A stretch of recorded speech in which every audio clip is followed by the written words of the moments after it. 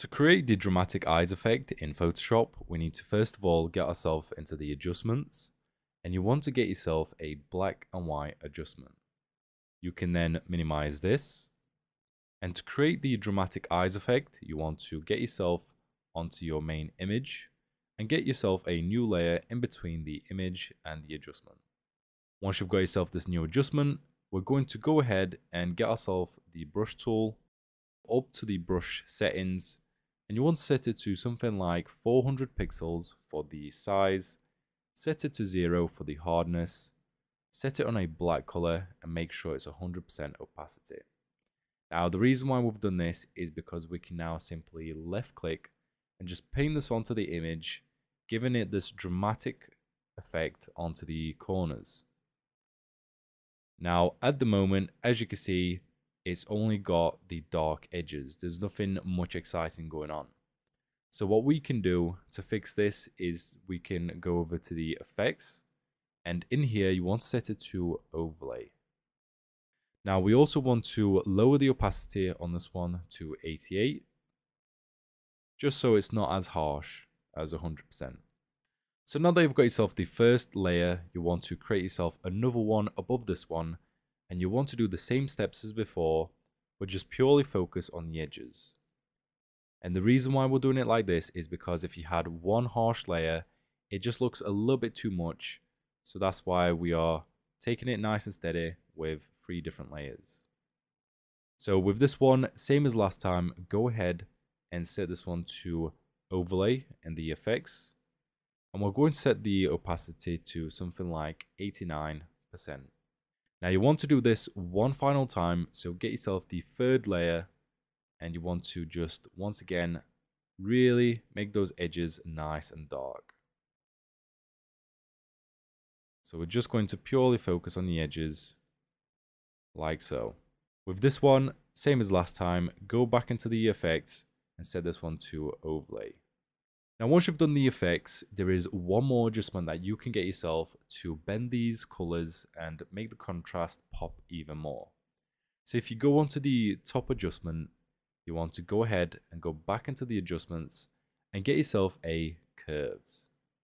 Now with the curves, if you've never used this before, it's really simple. You have yourself a line and with this line, you can bend it to play about with the contrast, the brightness, and you can also play about with the lighting and so much more. So what we need to do, we need to get ourselves one near the bottom down here. So all you got to do is just left click on the line and this will create your point. Once you've got yourself the first point, you want to set this one to 62 for the input and then 51 for the output. We want to get ourselves one in the middle, which is going to allow us to once again enhance the brightness and we're going to set this one to 123 for the input and then 134 for the output. And then finally, the very last one is going to be right near the top.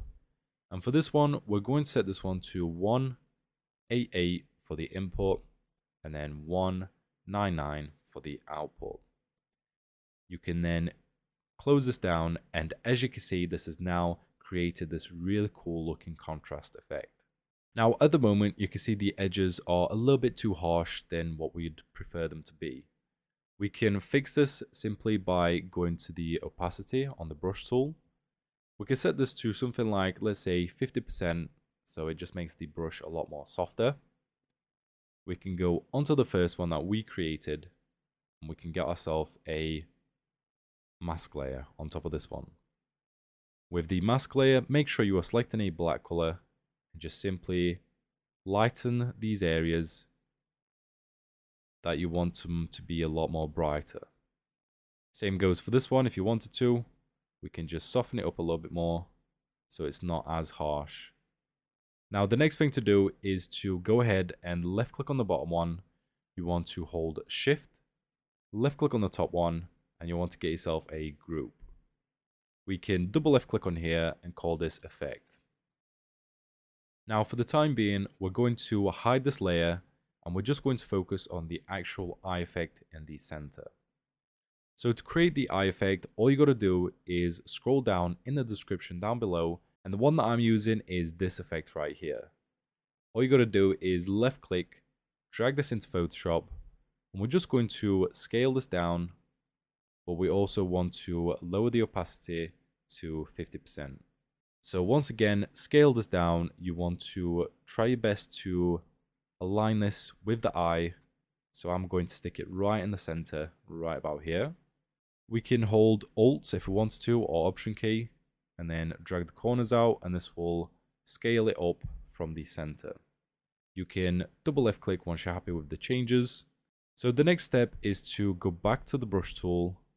You want to get yourself a mask layer on this one and you want to move this layer underneath the effect. From here, make sure you are selecting your mask. You want to lower the opacity with the square bracket. Make sure you're selecting a black color and then just soften the edges up nicely. Now we're going to set this back to 100% for the opacity and you just want to soften the edges, making sure that you only have the areas that you want to keep. Okay, so once you've done with the mask, you can go to the first tool. You want to set the opacity back to 100%. And we're going to go ahead and set this to a vivid light for the effect. Now, if the center bothers you, let's say you didn't want this to look like this, you can press B for the brush tool, go back onto your mask, and then you can just simply left click onto here and just soften it up to create this really cool looking glow effect. At the moment, we've got the effect, it looks really cool, but we can also continue on to make this look even better. So if you go over to the adjustments, you can get yourself a hue and saturation. And with the hue and saturation, you want to first of all clip this onto the one below so it only applies it to the actual eye. And from here, we can click on colorize and as you can see, this will now let you to play about with the different colors just by moving the slider at the top. You can also increase the saturation if you want the colors to really pop and really stand out. So I'm going with something like 70 for the saturation. And for the example of this video and what I used for the sake of the thumbnail is 285, which is this really nice purple. Once you've done that, you can then minimize this. And the final thing that you can do is, of course, to blend both of these together. So you have the eye in the middle with the effect, and you also have the dramatic look. So all we have to do now is simply select ourselves the group, get yourself a mask on this group. We're going to go back to the brush tool, and we're just going to increase the brush size to something like 150. Make sure you're selecting a black color and then once again, just reveal this from here. If you go outside of the box, don't worry about it. You can always correct this just by swapping over to a white color. And then of course, just blending it in nicely. And there we go. You are pretty much done. There is your dramatic eye effect in Photoshop.